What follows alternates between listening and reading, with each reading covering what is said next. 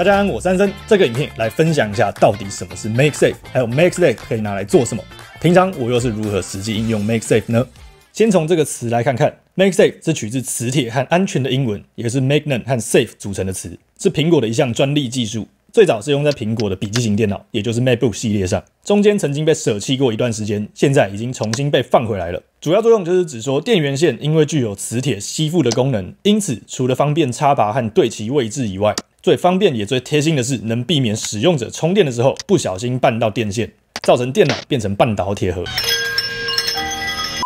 另外，顺便提一下，这是我以前的 MacBook Air，当时的充电器和新版本最大的不同是，旧款具有可以收纳电线的设计，我超喜欢这个小东西的，希望之后也可以把这个收纳功能加回来啊。而现在，除了 MacBook 系列有 Mac Safe 这个东西以外，从二零二零年的 iPhone 十二系列开始，也把类似的体验带到了 iPhone 产品线上，而且后来出现了各种产品、各种应用，更是大大拓展了这一个小小的磁铁圈圈。可以实际在生活中用上的情境，而最近也有消息指出，在未来的第二代气无线充电也将采用 MakeSafe 技术为基础发展，因此未来 Android 手机也能享有这个便利的服务。那如果手边的是 iPhone 十一或以前的机型，又或是 Android 手机，并没有支援 MakeSafe 功能的话，也是可以另外贴一个贴片，只要是本身就支援无线充电的手机。也同样能享有 MakeSafe 的充电功能。不过，我观察到身边朋友其实有在用 MakeSafe 的人还不算多，很多人甚至根本不知道自己的 iPhone 内有这个东西，或是就像 Apple Watch 一样，知道这个东西，但不知道这东西到底能拿来干嘛。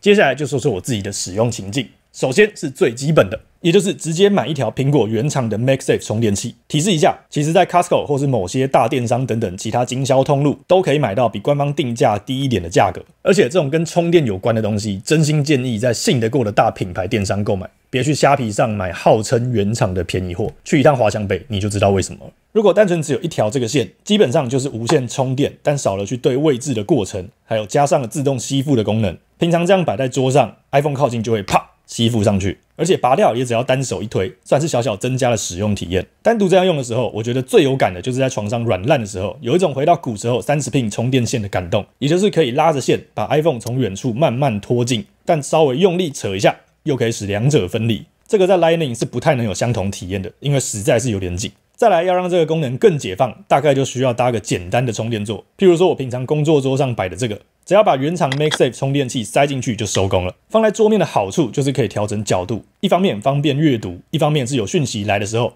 能在你伸手去碰 iPhone 的过程就已经解好 Face ID 了。如果是习惯用 iPhone 看影片的族群，单手就能轻松旋转九十度横向观看。当然，头抬起来脸朝上，也就可以拿来充 AirPods Pro 之类的。工作桌上的进阶用法。现在在 macOS 上可以很方便将 iPhone 指定为 FaceTime 相机，或是当然 Google Meet 之类的视讯会议服务也可以用。iPhone 的镜头实在比 MacBook 系列内建的好太多了，加上一个小配件，就可以很轻松固定在笔电荧幕旁边，省去桌面空间的同时，又可以牢牢固定 iPhone 不怕掉落。在某些情境，还可以当做一个随身携带的小外接荧幕，等于是把一个视窗多塞到主荧幕之外。而且铝合金质感非常不错。那如果是不考虑额外当做小荧幕的需求，只会拿 iPhone 来当镜头，像是之前我直播拼魔剑那组乐高，就是用 iPhone 来当做视讯镜头的。而且和我一样，想让 MacBook 尽量表面维持干净的话，也有另外一种可以随时拆装的，可以达到相同的效果。只要这样挂在 MacBook 荧幕的边缘，非常简单就搞定了。而且还可以搭配桌面视角拍摄接近垂直的画面。这个配件设计非常聪明，中间这块铝合金的部分是可以单独挖出来的，中间是一个最通用的四分之一英寸螺丝孔，也就是说这块可以单独运作，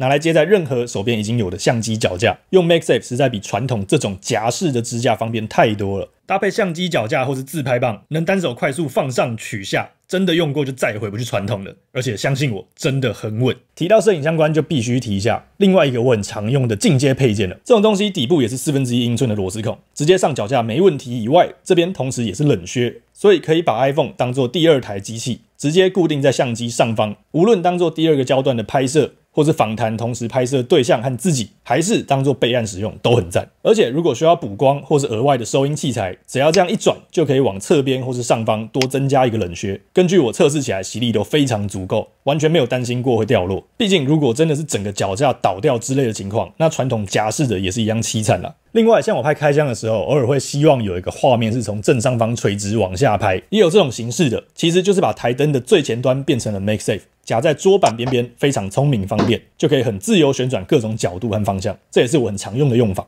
另外，如果使用的地点比较固定，而且希望是由实体线材来快速充电，毕竟插线的效率还是比 MacSafe 高很多嘛。那也有这种放置在桌面或任何平面上的，一样可以调整高度、任意旋转角度，不过整体更稳。搭配 iPad 或 iPad Mini 的话，看起来会很像得到一台缩小的 iMac，非常适合摆在固定的电脑桌上直播视讯，或是床头柜追剧听音乐，又或是带到厨房一边煮菜一边看食谱之类的。说到看煮菜，经常有这种使用情境的话，我更推荐干脆直接粘一个在墙壁上，省掉非常多空间。或是粘在镜子旁边，每天刷牙的时候可以看看影片，或是洗澡的时候可以视讯。这个是固定角度的版本。当然，某些时候会希望可以调整角度，也有这种中间是球状的关节，一样粘上去要的表面之后就收工了。这个也是有些人用在车上，但车用的话有个更好的解法，而且不需要粘贴固定。这个是夹在车上冷气的固定方式，有用夹的和用勾的，可以根据自己的车选择适合的方式，而且单手即可转垂直或是横向使用。非常强烈建议用这种固定在出风口的，一方面是因为比较不会遮挡视线，一方面顺便分享一下，我以前曾经用过一种是吸在挡风玻璃上的。